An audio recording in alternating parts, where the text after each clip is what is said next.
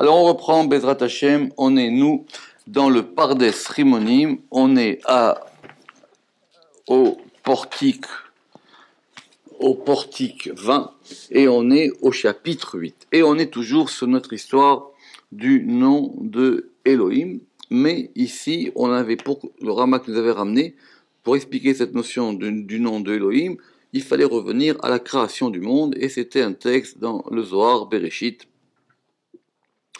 en 1b. Donc, je reprends l'idée, et on va revoir le texte, et on va revoir l'explication. C'est que, puisque le nom de Elohim, c'est le nom principal de la création, puisque toute la création elle est liée au nom de Elohim, d'accord? Et que donc ce nom de Elohim, il indique lui-même le processus de la création. Et que ce processus de la création, le Zohar, en se basant sur un verset d'Isaïe, il va expliquer que c'est une conjonction de deux noms qui sont le nom mi et le nom élé. Et mi et élé vont former, d'une manière qu'on verra plus tard, vont former le nom Elohim, et ce nom Elohim, c'est le nom qui a l'heure dans la création. Mais il faut comprendre le processus de la création. Et ce processus de la création qui va je veux dire, pour le moment, il n'y a rien de créé. Hein. C'est le processus qui va mener à la création. Il va d'abord mener à un nom qui s'appelle le nom Elohim, et ce nom Elohim, ça va être le nom qui va être l'acteur de la création. Donc on reprend au début du chapitre, on va relire euh, le Zohar euh, assez rapidement, et on va reprendre l'explication là où est-ce qu'on en était arrêté. Donc, on reprend ce texte du Zohar qui était au début du chapitre, qui était Béchata d'estimu d'école sétimine, mais ça on l'a déjà vu, hein, d'accord? Alors, Béchata d'estimu d'école sétimine. Béchata d'estimu d'école sétimine, ça c'était le Ensof. Mais il a dit que ça pouvait aussi s'appliquer à Keter. Bon, on, on, va pas refaire le cours de la semaine dernière, il faut le revoir. Baalid Galia, il a voulu se dévoiler. Avad Berecha, il a fait dans la tête. Et la tête, on avait dit que c'était Keter. Il a fait dans la tête Nekuda Hada, il a fait dans la tête un point. Et ce point, on va voir que ce point, a priori, c'est Rorma. Dveda Salik, et ce point, il s'élève, les Me'eve Machashava, pour être la Machashava. Donc la Machashava, non, normalement, c'est lié à Keter. C'est-à-dire que, ce point-là, il va s'élever pour être la pensée. C'est la pensée de, la création entière. Tsiyerba Kol il a, il a formé en lui toutes les formes. Hakakba Kol Gilifin, il a gravé en lui toutes les glyphes. Vea glyph go butsina kadisha, et il a glyphé à l'intérieur de la lampe sainte, Setima qui est caché, Gelifu, la glyphe des Chatsiura Setima, la glyphe d'une forme cachée, qui est le Saint des Saints, Kodesh Kodashim, Binyana, la, construction, Amika euh, profonde, des Nafik qui sort, Migo Machashava qui sort de la Machashava, et ça, ça s'appelle Mi. Et ce mi, c'est un, un, mot, mi, même yud. Et, la makashava, c'est la pensée. Veikre mi, et il s'appelle le mi, shiruta le binyana, qui est le début de la construction. Donc le mi, c'est le début de la construction. Kaima vela kaima. Maintenant, maintenant ce mi, il, se maintient et il ne se maintient pas. Amik vesatim bishma, et il est enfoui et il est caché dans un nom. C'est-à-dire, au moins, on a un nom. C'est-à-dire que c'est caché et enfoui à, l'intérieur d'un nom. Loïkra est la mi, mais il ne s'appelle que mi. C'est-à-dire mi, ça veut dire c'est qui. Mi, ça veut dire que c'est vrai que c'est qui, on le désigne, mais en même temps, euh, on ne sait pas qui c'est quoi. C'est les deux. Ba et Galia. Alors maintenant, ce mi, il veut se dévoiler. Et Galia, donc il veut se dévoiler ou carré bishma, et, donc être nommé par un nom. C'est-à-dire quoi, nommé par un nom? C'est-à-dire que maintenant, il veut avoir un nom qui soit plus stable. Ve'it labesh bilbouj de yaka, et il va s'habiller dans un habit d'honneur, des naïrs, qui va éclairer, ou bara et c'est ça le verset qu'il a dit, et il a créé ele, ceci. Vesalik ele bishma, et donc ce ele, il devient aussi un nom. Donc on a deux noms. Il y a mi qui va créer ele. Parce que le verset, il a dit Mi bara ele. Qui a créé ele? Qui a, créé ceci? Itrabru advan ilin beilin. Et les lettres se sont liées ensemble. Ve ishtalim, et ça c'est euh, parfait. Donc ça atteint une complétude, on va dire. Vesalik, et cela s'est élevé dans le nom de Elohim. Ve'inun dechavu badala, est-ce qu'on avait dit, et ceux qui avaient fauté lors de la faute du Vaudor, c'est à propos de ce mystère-là qu'ils ont dit, Ele Elohecha Israël. Ele, voici tes Elohecha Israël. Autrement dit, comme on avait dit, ils ont enlevé le mi de Elohim, ils ont gardé le deishtatef mi. Alors qu'est-ce qu'on apprend de là? Que ces, deux, degrés de mi et ele doivent être tout le temps associés. Mi achinami shema tadir. Et donc un, aussi, alors ainsi aussi, ou ici aussi, que ce nom, il doit toujours être associé. Au Berazada Itkayem Alma, et c'est par ce mystère que se maintient le monde. On a lu le texte, on reprend l'explication. Alors, on a vu la dernière fois, le début du texte, c'était à dire jusqu'à ce degré de Chorma. Ve'ama. Et après, on reprend. Veda salik lemeve marshava. Et ça, ça, et il a dit que ça, ça va s'élever pour être la pensée. Qui aya raou veda imachashava. Alors évidemment, le Ramak, c'est quelqu'un qui sait lire le Zohar au microscope. Pourquoi le Zohar, il a dit, et cela va s'élever Donc là, pourquoi le Zohar, il n'a pas dit, et cela, c'est la pensée Pourquoi le Zohar, il, a dit, et cela s'élève pour être la pensée? Pourquoi est-ce que le Zohar, il, aurait pu dire qu'il y a un point, et ce point-là, ça s'appelle la Machashava Pourquoi le Zohar, il a dit, Veda salik eve Machashava pourquoi est-ce qu'il est écrit que ce point, il va s'élever pour être la pensée? Et le motif en est le suivant.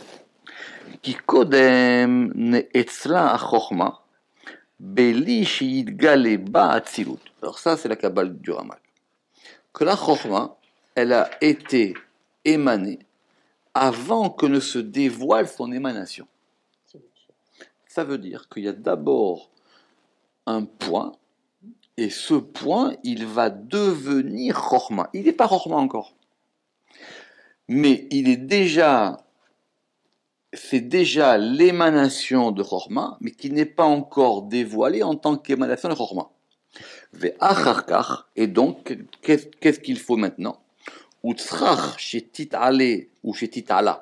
Et après, il est donc nécessaire que ce point s'élève vers le haut les kabel koar pour recevoir une force, mais un noten koar de celui qui donne la force. Autrement dit, c'est un point embryonnaire, quoi. Donc il a besoin de remonter pour prendre une force. Mais un noten koar la colle de celui qui donne la force à tout, kede shiyid galou betocha, afin que dans la pensée qui est émanée de ce point, puisse se dévoiler toutes les formes et l'émanation elle-même. Et c'est pour ça que le Zohar il a dit Veda Salik. Et ça, ça s'élève. Irouche, nit ale lemala. Ça veut dire ça va maintenant s'élever vers le haut. Bebechina ta keter atzmo, selon la particularité de Keter lui-même. El bechinato amityachedet bamaatzil, par lequel qui fait que Keter est uni à l'émanateur, l'Iota mitya chesed bamarshava, pour qu'elle soit en lien avec la pensée, c'est-à-dire la forme de l'émanation dans sa substance. Et c'est pour ça que maintenant, quand ce point il va s'élever, dans cette pensée, on va former et on va inscrire toutes les formes possibles ce que je vous ai dit. C'est-à-dire que pour que dans la pensée, vous ayez une idée, il faut qu'elle reçoive d'un degré plus haut. Et pour recevoir d'un degré plus haut, et que dans votre pensée, votre pensée soit claire, que, que les formes, elles soient bien établies, il faut remonter pour pouvoir donner une, une forme à la forme. Tsiyerba kol et c'est pour ça que le Zohar, il a dit qu'il a formé en elle toutes les formes. Hakakba kol gilifin, et il a gravé en elle toutes les glyphes, pirouche. כבר הערכנו בשער עצמות וכלים בעניין, בעניין הספירות ועצם המתפשטם בתוכן. Alors il dit, on a déjà développé dans Shar Atzmut Vekelim, dans la porte de la substance et des ustensiles, Beinyan Asfirot, à propos des Sfirot, Ve'aetsem Amit Pachet Betochan, et la substance qui se dévoile en elle. Je veux bien prendre trois minutes pour vous expliquer ce sujet, mais il faut le revoir au début. Le Ramak, il a une question de, de classique. Est-ce que les Sfirot, elles sont, elles sont Dieu ou pas? Si les Sfirot, elles sont pas Dieu, c'est quoi? Et si Dieu, c'est les Sfirot, alors on, va pouvoir, euh, on aura des problèmes métaphysiques. Très bien. Donc soit on dit que les sphirotes, c'est la atzmut, c'est la substance, soit on dit que les sphirotes, ce sont les kelim, c'est-à-dire ce sont les outils de Dieu. Mais c'est quoi ces outils? Donc c'est une porte en soi, mais qui va nous permettre de comprendre quelque chose de très important, parce que ça vient du Zohar, évidemment, et ce sera même repris par le Rizal. C'est que les sphirotes, elles sont des outils, mais qui sont alimentés en flux permanent par un flux divin. Ça veut dire que si moi j'ai un outil, tant que je l'ai dans la main, l'outil il a une vie parce que c'est ma main qui le bouge. Quand je repose l'outil, l'outil ne sert plus à rien. Il est inerte. D'accord? Alors les sphirotes sont des outils, mais ces outils sont continuellement alimentés par un flux. Ce flux-là, il aura plusieurs noms. Écoutez bien. Alors, soit on va l'appeler, mais chaque fois, chaque appellation est différente, et va correspondre à une réalité différente, soit on va l'appeler cave amida, c'est-à-dire la, ligne cave ou le rayon, la ligne ou le rayon de la mesure, c'est-à-dire c'est le rayon qui mesure et par lequel les choses sont mesurées. Ou soit on lui donnera des noms, des noms plus, plus araméens, on va dire, et, on va appeler ça Butsina de Kadrinuta ou Butsina de Cardinuta, et c'est-à-dire la lampe, euh, euh, c'est une lampe obscure, que c'est une lumière qui est à l'intérieur. En gros, c'est comme le, euh, le, nerf qui passe dans la colonne vertébrale, et qui alimente la colonne vertébrale. Et Shalom, quand quelqu'un il n'a pas ça, eh ben, il perd la faculté de ses membres. D'accord? Donc c'est un espèce, c'est un rayon c'est une lumière qui passe à l'intérieur des sphirotes et qui les alimente permanentes. Donc, il dit que cette question-là, il a déjà abordé dans, dans Vekelim. Et c'est ce qu'il va dire ici. Kinetsalu bet devarim. Parce que deux choses ont été émanées. Soulignez, soulignez-moi ça en gras. Netsalu bet devarim. Il y a d'une part la séphira et il y a l'âme de la séphira qui est à l'intérieur de la séphira. Chaque séphira a une âme. Donc on va, considérer que les sphirotes sont des corps et ces corps sont animés. Ils ont une âme. Mais c'est une âme qui est permanente.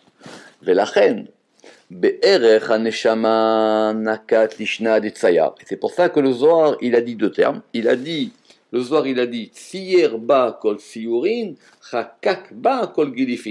Le Zohar, il a dit qu'il va former en elle toutes les formes, hakak ba kol et il va dans la Makashava, et il va graver en elle toutes les glyphes. Alors il dit le premier terme de Tsayar, il a formé, ça correspond à la Neshama de la Séphira. De Aïnou, Tsiur, la Shon Tsura. Parce que Tsiur, c'est le vocable de forme, et une forme, ça se rapporte, el neshamat asfirot, ça se, rapporte à l'âme la, à, à des sphirotes et à leur lumière. Ve atzmutam amit pachet, et à la substance des sphirotes qui va se déployer. Puisque ça se déploie de, de en sphirote. Ce, ce, flux, il est permanent. Ve lachon chakika. Par contre, quand on dit gravé, chez ou à Avut, et ça, et ça correspond à une épaisseur, quand on grave c'est épais, ça correspond à l'épaisseur des choses, et donc quand on grave, c'est plus épais, c'est plus dévoilé que quand on forme. Une forme, ça peut être indéfini, alors qu'une gravure, c'est vraiment gravé. Yoter nakat ça, ça correspond aux ustensiles, ça correspond au kelim, c'est-à-dire ça correspond au corps des éphirotes. Chez M, Inyan Gouf, elle est Tsem Sefirot. Et ça, ça correspond au corps par rapport à la substance des Sefirot. Vedavarze, Ifshar la alav, et cette chose-là, on ne peut pas la comprendre.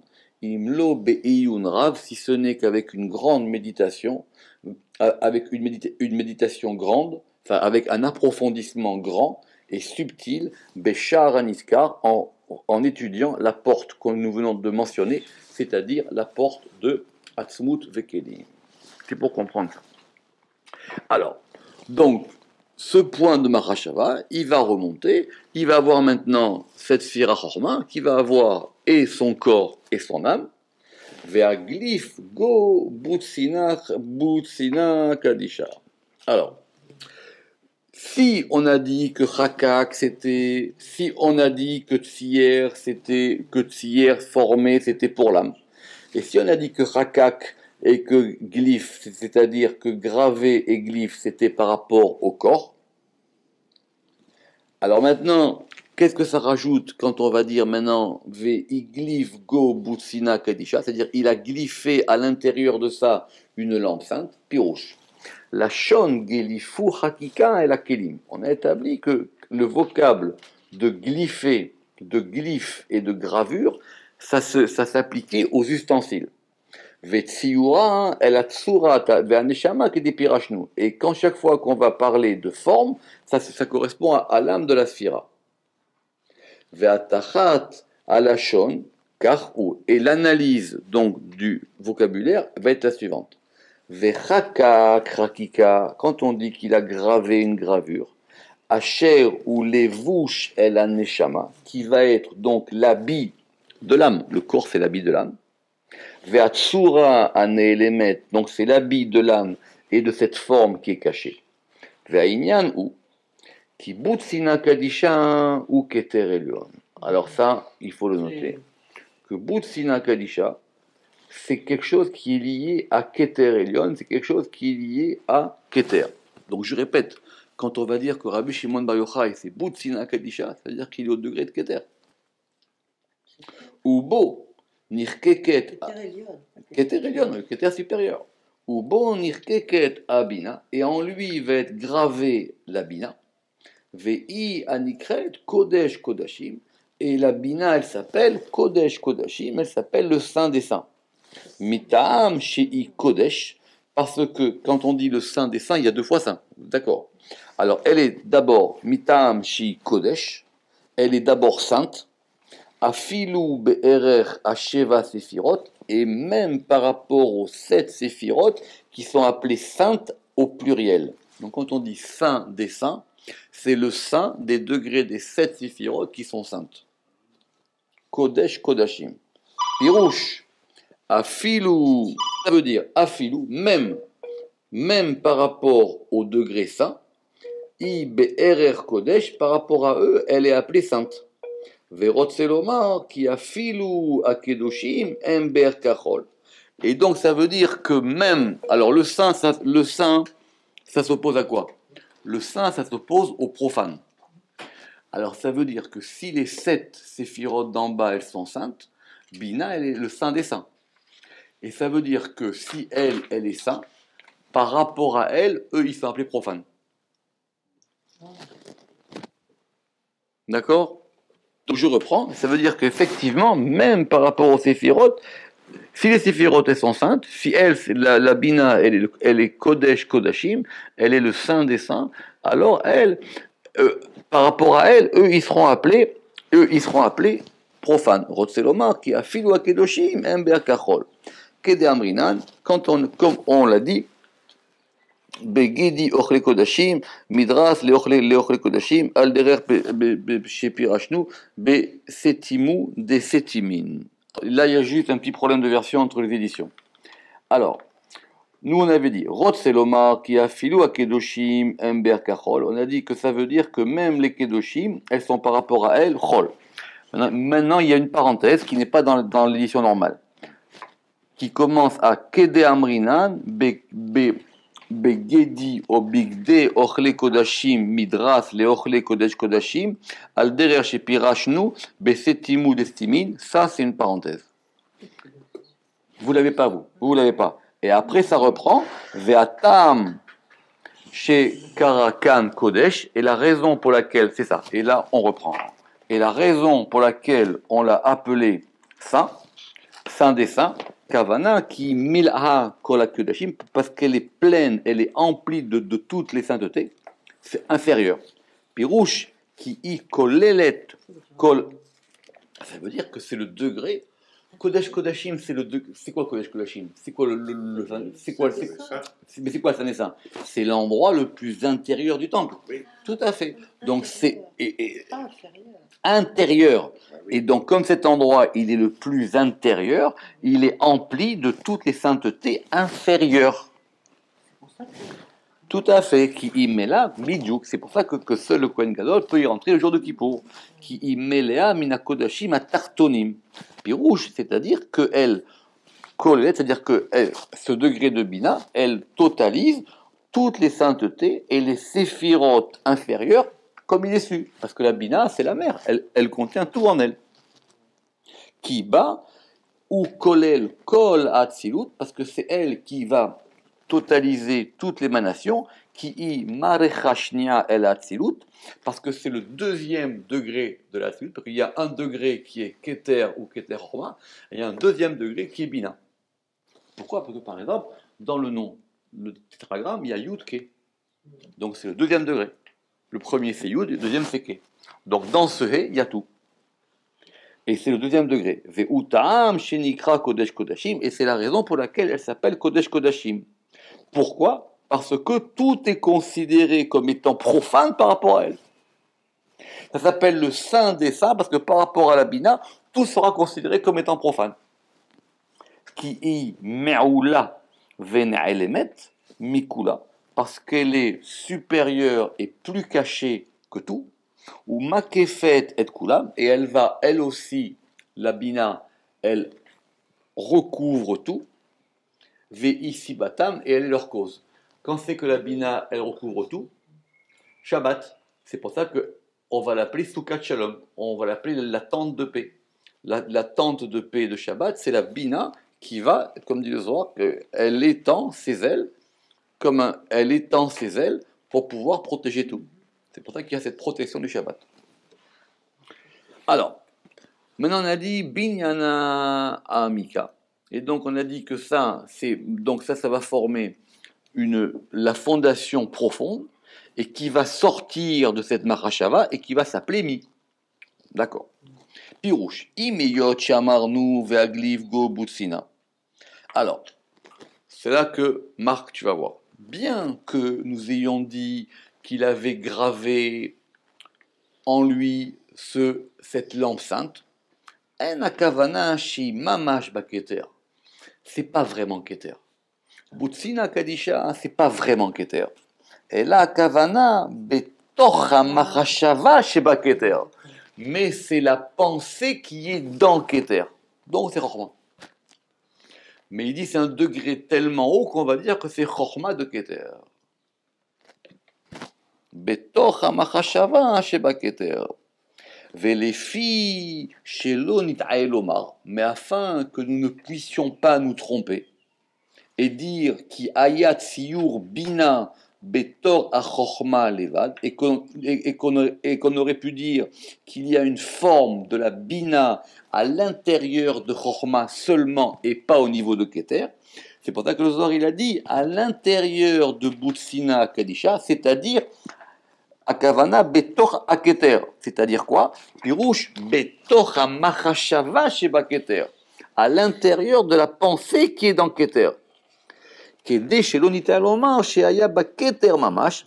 Et pour qu'on ne puisse pas penser non plus que c'est que c'est Keter lui-même, c'est pour ça qu'on a dit que c'est un que c'était un binyana, une construction qui des qui sort du sein de la pensée. Alors il dit Aketsad, c'est-à-dire Betor a chez Betor a Keter, à l'intérieur de la Chorma qui est dans Keter. Et ça, ça s'appelle Binyana Amika. Ça s'appelle une fondation, ça, s'appelle une construction profonde.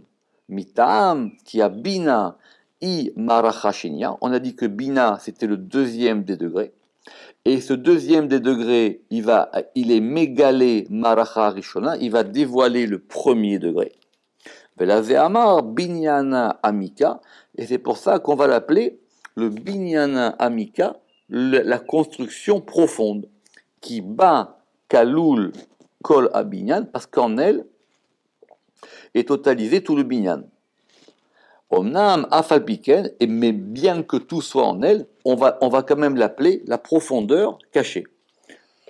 Pour les profondeurs, j'espère que vous vous rappelez tous, on l'avait vu au début du Pardes, c'est une Mishnah dans le Sefer euh, Yetzira qui s'appelle Mishnah Ta'amakim, c'est la Mishnah des profondeurs. C'est le même, et d'ailleurs c'est sur ça qu'est fondé le psaume de David Ameller qui s'appelle le, le, le, fameux De Profondis. D'accord? Mimamakim Karati Hashem, c'est David Ameller, il, voulait rentrer dans les profondeurs de la Bina. Et c'est pour ça là-bas que, quand on voit euh, les, profondeurs, c'est la Mishnah du Sefer on dit il y a la profondeur du haut, la, profondeur du bas, la profondeur de la droite, de la gauche, etc. Enfin, toute la Mishnah là-bas, qui est une grande Mishnah très compliquée dans le Sefer à Yetzira, ce qu'on appelle la profondeur, c'est tout ce qui est à l'intérieur de la Bina. Des nafik migo machashava, et donc on en arrive doucement à notre point, qui va sortir du sein de la machashava pourquoi? Pour une raison simple, dit le Ramak. On ne peut pas attribuer ce nom de mi à la bina. Be'et iota adain ne'elemed tant que la bina est dans horma. Qui mi, parce que c'est quoi mi? C'est la force. Maintenant, on va revenir. C'est quoi mi? Mi, i askalat davar. C'est le fait de comprendre une chose polbo là, au point que je puisse poser une question et dire qui c'est. Mi ouzé. Ça veut dire quoi? On revient, c'est quoi le mi? Le mi, ça veut dire que j'ai déjà identifié qu'il y a un objet ou une personne. Et j'ai dit quoi? Mais tu c'est qui? Donc quand je dis c'est qui, d'une part, ça veut dire que je ne sais pas qui c'est mais j'ai bien défini un élément séparé des autres. C'est ça le mi. On reprend. Mi ou askalat davar, c'est la compréhension d'une chose, dvarma d'une chose quelconque, chez yipol boachela, à partir duquel je vais pouvoir poser une question et dire l'omar miouzé, et dire mais c'est qui lui? Ou inyan mi. Et ça c'est le mi, bien que je n'ai pas la réponse. Mais j'ai, mais j'ai, mais savez quoi Mais j'ai, mais j'ai déjà une question. Tout à fait. J'ai, pas la réponse. Le prophète, il a dit, kodesh ou mi bara Levez vos yeux vers, vers les hauteurs, ou, ou, et vous verrez qu'il y a un mi qui a créé Elé mi bara C'est comme ça que le Zohar il lit le verset. C'est-à-dire que celui qui arrive à ce degré de la vision, même s'il ne sait pas ce que c'est, il voit une chose. Et là, il dit qui? Vous comprenez? Et là, il dit qui? Donc, s'il dit qui, c'est une question, mais il a quand même distingué qu'il y avait quelque chose. Donc, Amar, qui lo yizdak shemmi, et là, Bibina, que ce nom de mi, on peut l'attribuer que à Bina, mais à condition que Bina, biota mais à Bechina, à Penimit, à condition qu'elle sorte de l'intériorité de la pensée. Ça veut dire que j'ai une pensée. Pour que je puisse poser la question mi, il faut qu'il y ait quelque chose qui sorte de cette pensée. Et cette chose, c'est quelque chose qui va me permettre de distinguer. C'est pour ça que c'est lié à la bina. Et la bina, elle va permettre de distinguer des choses. Et dans cette distinction, je distingue un objet ou quelque chose. Et cette chose-là, je dis qui. Et c'est pour ça que le, Zohar, le dit, c'est pour ça que le Zohar il a dit, des nafik migo marashava qui sort de la pensée. C'est très beau. Ça veut dire que la question du mi, c'est quelque chose qui sort de la pensée. Mais tant qu'il est dans la pensée, c'est pas mis. Comprenez ou pas? Tant que c'est la pensée, elle contient les formes, qu'on a vu, Elle contient les formes et elle contient le corps des formes. Et quelque chose qui sort de la pensée, maintenant, ça va être la bina. Et de donc, vous vous rappelez, donc, donc du coup, on revient à Keter, Chorma, Bina. Et ce degré de bina qui sort, maintenant, il va, il va, il va, il va faire un mot qui s'appelle mi. Donc la bina s'appelle mi. D'accord? Et rappelez-vous que donc si la bina s'appelle mi, la malchut, qui est l'élément opposé, elle s'appellera yam. Non, elle s'appellera, elle, yam. C'est ça, c'est Tiferet qui s'appelle ma. Pourquoi est-ce qu'on a dit que c'est quelque chose qui sort migo machashava, qui sort du sein de la pensée? Akavana. Sheyotse mea bechina a penimit atzmait, qu'elle sort de la particularité intérieure de la substance de la pensée. Elle a bechina a kitsona, vers l'aspect kitsona, ça veut dire euh, euh, vers l'aspect. Hein? Oui, extrême, Razak. Tout à fait. Vers l'extrait, vers, le côté extrême. B. Machberet la Chochma Ibabina, qui, est celui de la jonction entre Chochma et Bina. C'est la, la limite entre Chochma et Bina. Et ça, Veshem, Vesham, Nikrami, et ça, ça s'appelle Mi. En fin de compte, c'est la conjonction c'est ça, c'est la liaison entre Chorma et Bina. Chorma, je, Chorma, je, je comprends et Bina, je distingue. Et entre les deux, je vois qu'il y a une chose, je la distingue, mais je ne suis pas capable de savoir ce que c'est. Alors ça, ça, ça s'appelle mi. Qui ka'asher yidgale be'etsem el Parce que quand maintenant va se dévoiler la substance vers sa substance, loïsdak aléachemi, on, on, ne, on ne peut pas l'appeler mi. Je ne peux l'appeler mi que par rapport à la distinction, pas par rapport à la substance de la chose. Parce que maintenant je le distingue. En tout cas, comme ça, je comprends. Et c'est pour ça qu'on a appelé ça Shiruta le binyana, le commencement de la construction, kaima, vela kaima, qui se maintient et qui ne se maintient pas. Ça veut dire quoi? Quand on dit ça se maintient à kavana kaima, ou techila les binyan, parce que c'est le début de la construction. Chez ekef, mais à chesed ou mata, qui est le, ce qui va entourer à partir de chesed et de ce qui est après. C'est le début du processus. J'en suis au début. Donc, par rapport au début, j'ai un début, donc il y a, quelque chose, il y a quelque chose, il y a quelque chose qui tient. Je suis pas encore au premier jour de la création, mais je sens que je vais rentrer dans un cycle de création. Velo be'etzem ka'asheri techila labinyan, mais ce n'est pas la substance parce que c'est le commencement de la création, et la ka'asher adain ena midgalit, mais c'est pas encore dévoilé. C'est le prémisse de la création. Donc il y a une création qui va arriver. Donc ça, ça, s'appelle que ça se maintient. Et quand cette création, elle n'est pas encore là, ça, s'appelle que cela, ne, se maintient pas. C'est pour ça que il a dit Kaima velo Kaima.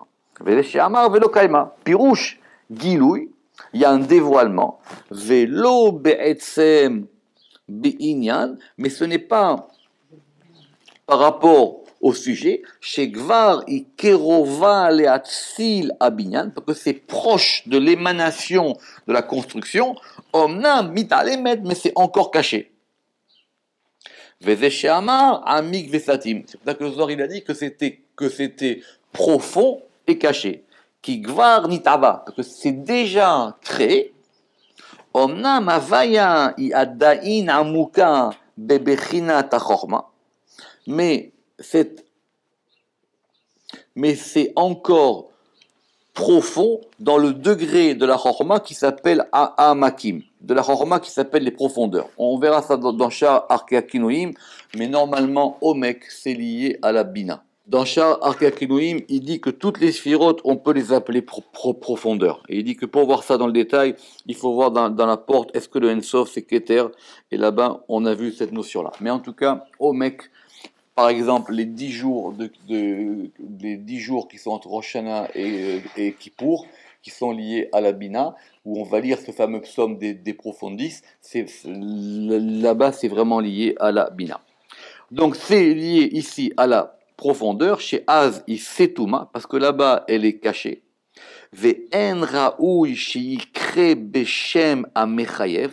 Et on ne peut pas l'appeler avec un nom, on, dirait. Euh, oui, mais euh, une, euh, assertif, ça se dit ça un, nom certifié. Exactement. Un nom, un nom ouais, comme on dit, une insertion. Be'inyan c'est-à-dire un nom qui va, qui, va, qui va indiquer quelque chose de positif. Klal Amagbil Adavar, et qui va définir la chose quand on, comme, comme, quand on va dire ma. Mais simplement mi. Pourquoi? Parce que quand on dit mi, quand on dit mi, c'est. Alors, quand on dit mi, c'est une bonne question. La différence qu'il y a entre mi et ma. Alors, le Ramak, il a l'impression, de ce qu'on comprend, il dit ici que ma, c'est que déjà, la chose, elle est établie. La chose, elle est établie. Et je dis mazé. Ah, ça, c'est quoi? Autrement dit, si je peux dire c'est quoi, est-ce que c'est de l'eau euh, bleue, verte, rouge, etc. Ma, c'est déjà plus détaillé. Mi, c'est que je distingue la chose, mais je ne sais pas ce que c'est. Donc c'est pas comme en français. D'accord? Donc il dit ici que le, que le ma, c'est déjà c'est déjà quelque chose qui va, qui va euh, qui va limiter la chose, et je vais poser la question ma. Et la mi, mais quand on va poser la question mi, chez Piroucho,